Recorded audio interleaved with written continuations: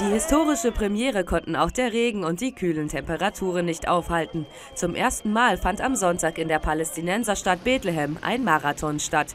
Rund 100 Läufer nahmen teil, 300 weitere wagten sich auf den Halbmarathon oder die 10 Kilometer.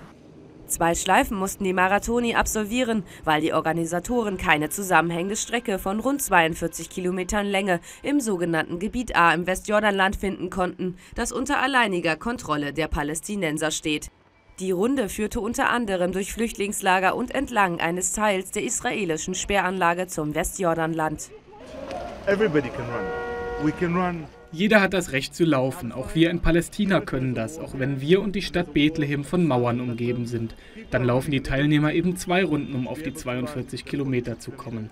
Es ist ein Erfolg, wenn man auf die Zahl von internationalen Teilnehmern schaut.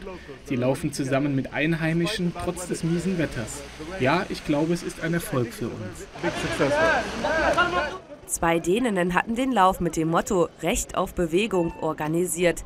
Als erster rannte Abdel Nasser Awatschne, ein Palästinenser aus Jericho, nach drei Stunden, neun Minuten und 47 Sekunden ins Ziel, als stolzer Sieger eines historischen Rennens.